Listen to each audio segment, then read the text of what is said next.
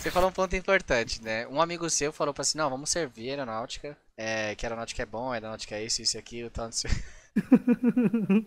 Esse amigo dele, senhores, sou eu. Ah, Eu queria servir aeronáutica. E eu falei pra vocês já. E, e- e qual que é o quartel que você queria servir? eu queria o exército. Você queria exército. Queria Aí beleza. Molecada, ensino médio, falei assim, pô, você quer servir? Pô, também quero, tal, não sei o quê. Aí cheguei pra ele e falei assim, Marcinho, porra, exército, mano, os caras vai passar o carro em nós, mano. Exército, os caras só pegam os caras de 3 metros, velho. Não vai, não, não vai não, mano. É que eu, eu também, querendo ou não, eu era baixinho na época, né? E tinha esse. Todo mundo, não, mano. Menos de 1,70, não, pega, é. E, merda. e- e sempre foi essa, esse discurso aí, acho que hoje em dia não tanto mais. Eu falei, Marcinho, se a gente falar que vai, vai pro exército, nós vai ser limado, mano. Vamos falar aqui que é aeronáutica. Ele, não, puta que pariu, mano, é que eu não curto, mano.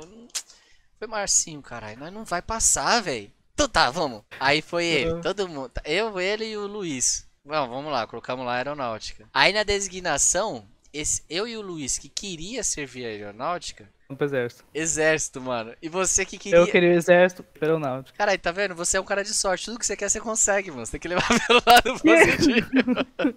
você tem que Essa pensar a pelo lado opção, né? positivo. Entendi.